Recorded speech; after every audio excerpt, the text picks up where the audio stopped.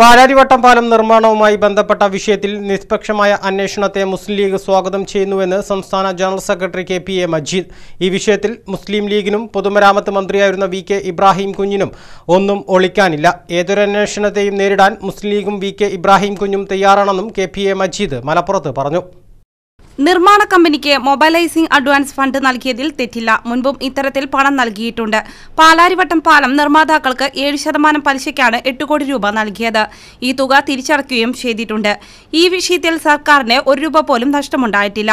Central vigilance കമ്മീഷന്റെ മാർഗനിർദ്ദേശപ്രകാരം പലിശ ഈടാക്കാതെ തന്നെ മുൻകൂർ പണം നൽകാവുന്നതാണ്. പാലാരിവട്ടം പാലത്തിന്റെ നിർമ്മാണത്തിനുള്ള സാങ്കേതിക തകരാറുകളാണ് കണ്ടെത്തിയിട്ടുള്ളത്. നിർമ്മാണത്തിന് ഉപയോഗിച്ച സിമന്റ് കമ്പി തുടങ്ങിയവ ഉപയോഗിക്കുന്നതിലെ പോരായ്മകൾക്ക് മന്ത്രി ഉത്തരം പറയണമെന്ന് വന്നാൽ ആർക്കു ഭരിക്കാൻ സാധിക്കുകയില്ല. റിമാൻഡ് പ്രതിയുടെ ജാമ്യാപേക്ഷയിലുള്ള സ്റ്റേറ്റ്മെന്റ് പ്രകാരമാണ് വിജിലൻസ് കേസ് എടുത്തിരിക്കുന്നത് ഒരു കേസിലെ ഒരു റിമാൻഡ് പ്രതിയുടെ മൊഴി അനുസരിച്ച് ആണ് ഈ കേസ് വരുന്നത്.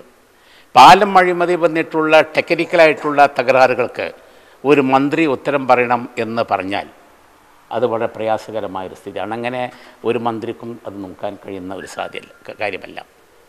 അതുകൊണ്ട് ഇക്കാര്യത്തിൽ വരുന്ന എല്ലാ അന്വേഷണത്തെയും അതിനെ പാർട്ടി സ്വാഗതം ചെയ്യുന്നുണ്ട് ഇതോടൊപ്പം തന്നെ കോടതി വന്നൊരു കേസ് ചന്ദ്രികയുടെ പത്ത് കോടി റുപ്യ ഇബ്രാഹിം കുഞ്ഞിന്റെ ഈ അഴിമതികളുമായി ബന്ധപ്പെട്ടതാണ് എന്ന വാദമാണ് അത് ദുരുദ്ദേശപൂർവം അടിസ്ഥാനരഹിതമായിട്ടുള്ള ഒരു വാദഗതിയാണ്. ചന്ദ്രിക മുസ്ലിം പ്രിന്റിംഗ് ആൻഡ് പബ്ലിഷിംഗ് കമ്പനി നടത്തുന്ന ഒരു പത്രമാണ്. ആ പത്രത്തിൽ ഈ സംഖ്യ എങ്ങനെയാണ് വന്നിട്ടുള്ളതെന്നും അതിന്റെ സോഴ്സ് എന്താണെന്നും നേരത്തെ ടാക്സ് ഡിപ്പാർട്ട്മെന്റിനെ ബോധ്യപ്പെടുത്തിയിട്ടുണ്ട്. പ്രതിയുടെ സ്റ്റേറ്റ് അവിശ്വസനീയമാണ്. പുകമറ സൃഷ്ടിച്ച് ഇബ്രാഹിം കുഞ്ഞിനെ പ്രതിയാക്കാനുള്ള ശ്രമമാണിത്. സുതാര്യമായി അന്വേഷണം നടക്കട്ടെ. മുസ്ലിം ലീഗിനും ഇബ്രാഹിം കുഞ്ഞ് എം എൽ എക്കും ഇക്കാര്യത്തിൽ ആശങ്കയൊന്നുമില്ലെന്നും കെ പി എം മജീദ് പറഞ്ഞു. News bureau Malappuram.